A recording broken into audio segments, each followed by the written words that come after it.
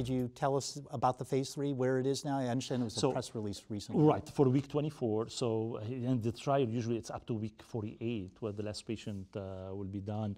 It's all it's done, I would say. They're still looking at the analysis, preliminary analysis. You're going to hear more about the week 24 data uh, probably in coming some of the meetings, that the national meeting or international meeting, they're coming.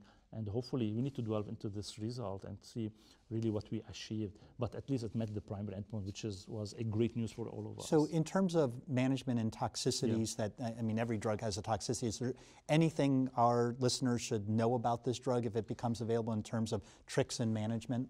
Actually, you know, the only thing is in the trial, uh, we know that it can uh, interact with cyclosporin. Uh, so we had. It's you know, another one, so what? Yeah, yeah, for, for the patient on Tacro or not on uh-huh. cyclosporin, they got Yeah. the 480 milligram, which is a higher dose uh, based on some in vitro modeling. And the one on cyclosporin, they get the regular dose, 240 milligram once a day, or the, the 240 milligram once a day.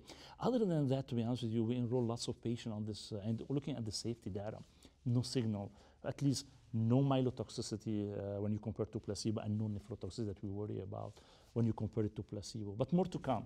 in Yeah, and I, I think we, we're, transplanters are become pharmacologists during Yes. the, that two-month period. I don't think we'll uh, be you know troubled in the slightest by okay, it's another med I'm juggling here, no problem. Well, uh, this has been extremely informative. I, I know I've learned a lot. Uh, I know that I'm still not going to be a transplanter. I'm pretty certain of that.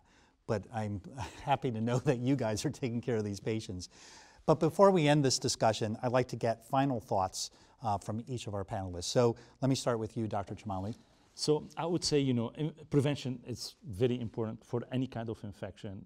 We want to keep this patient alive in order to get their transplant, to go through this, you know, this hard period uh, of their life. And, you know, it, really saddens us when we see patients dying from infection.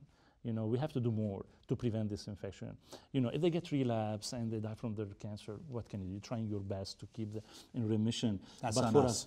Yeah, it's That's- on, that's- yeah. that's on But for us, it's like a really huge responsibility to keep this patient, uh, you know, to prevent this infection from going. And the other infection control measure also, from hand hygiene to isolation precaution, have to keep in mind.